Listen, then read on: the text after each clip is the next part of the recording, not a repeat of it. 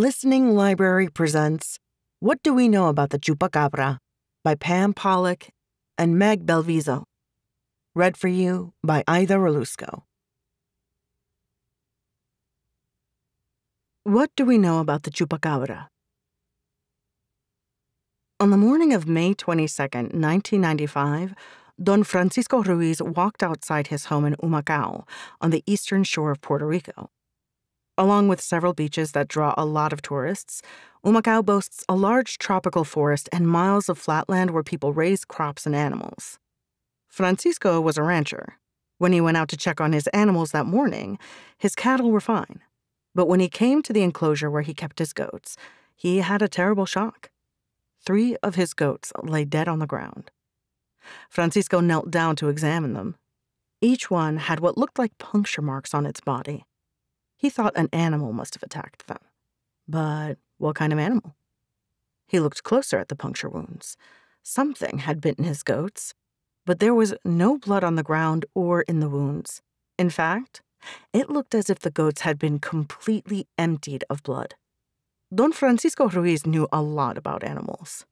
He was a farmer who knew what cattle ate and how goats behaved, but he likely did not fully understand what he was looking at. What had happened that night? What kind of animal would do this to his goats? Francisco's own blood ran cold.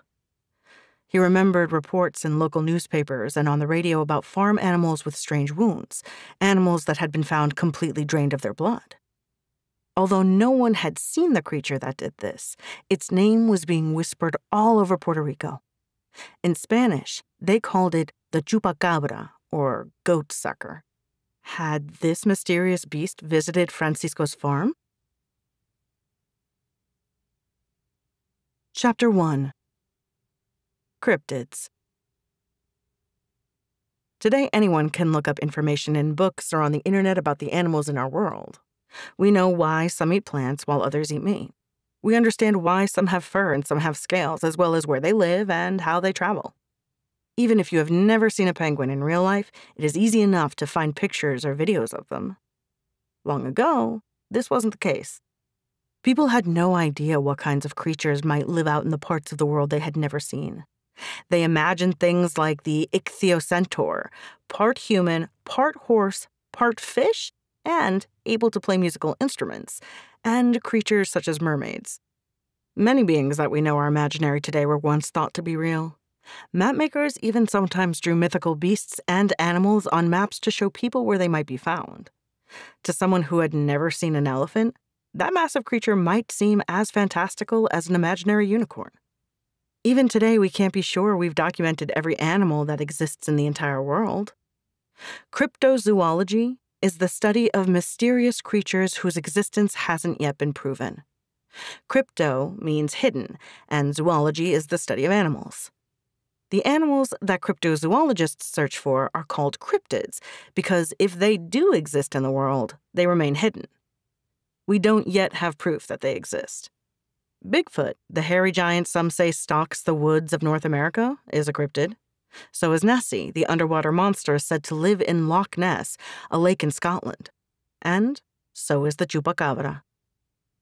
Cryptozoology is not considered a true science because science studies things that can be observed but many people still believe that reports about beings like Bigfoot should be taken seriously.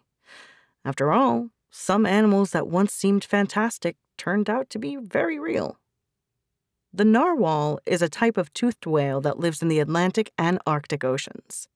Because of the large tusk growing out of its upper jaw, it's nicknamed the unicorn of the sea. In the Middle Ages, a period of European history from the late 400s to the 1400s, narwhal tusks were sold as actual unicorn horns. Some people believed they had magical powers. Narwhals are very real, yet every month, almost 15,000 people search the internet to ask, Are narwhals real? So, even the existence of real animals that we have studied and documented is sometimes questioned. The Kraken for centuries, sailors have told stories of a terrible sea monster that lived beneath the waves and attacked their ships with its giant tentacles. Scandinavians called the creature the kraken. In Japan, it was known as Akuro Kamui. The ancient Greeks called it tethos. With so many different cultures believing in it, could the Kraken be real? It turns out, yes, it was, and it is. The giant squid, as it's called today, lives deep in the ocean. The largest found so far was 43 feet long and it weighed a ton. That's 2,000 pounds. One species of giant squid have long, powerful tentacles covered in suckers that are filled with teeth. This is one monster that lives up to its legend. In order to know that an animal definitely exists, we need proof, like the body of a giant squid or a captured narwhal. Without an actual sighting of the animal, any small bit of evidence will do a strand of hair, a footprint, a nest, or a piece of skin or scale. That is what cryptozoologists search for. In 1995, they began looking for a new cryptid in Puerto Rico, the chupacabra. Chapter 2 Making Headlines The town of Orocovis is located in the central mountain range of Puerto Rico. The mountains cross the island from east to west, dividing it into northern and southern coastal plains. Because of its central location, Orocovis is sometimes called the heart of Puerto Rico. Many people in the region make their living by growing wheat and coffee or raising livestock like goats, sheep, and cattle. Puerto Rico. Puerto Rico, in the Caribbean Sea, is made up of 143 islands of various sizes, but people only live on three of them. In total, it covers about 3,500 square miles. Nearly a quarter of the land is made up of steep slopes with lowlands near the coasts. As of 2020, there were 3.286 million people living in Puerto Rico. In the 15th century, the island was called Boriquen by the Taino, one of the two major groups of people who lived there. The other was the Caribs. European conquistadors, or conquerors, arrived from Spain in search of gold and other riches. They renamed the land Puerto Rico Spanish for Rich Port. The Spanish enslaved or killed many of the island's people and brought enslaved people from Africa to work for them. Many people living in Puerto Rico today are descended from a combination of the indigenous groups, Europeans, and black African people. In 1917, Puerto Rico became part of the United States. In March 1995, several residents of Orocovis and the nearby town of Morovis woke up to discover some of their livestock had been killed. Ranchers went to their fields and found goats, sheep, and cows lying dead with small puncture wounds in their necks. Even more chilling, the animals seemed to have been drained of blood. No one had seen any evidence of a person or animal that could have killed them. What was attacking their valuable livestock? By the time Don Francisco Ruiz found his own goats dead outside his home in Humacao, he had already heard about the attacks in Orocovis. Eventually, the mysterious creature was given a name Chupacabra, or goat sucker. Giving the creature a name made it easier to talk about. At first, the stories were spread from person to person. People passed on rumors that they heard from a cousin about a neighbor whose sheep had been killed by a monster. But soon, the stories caught the attention of local newspapers.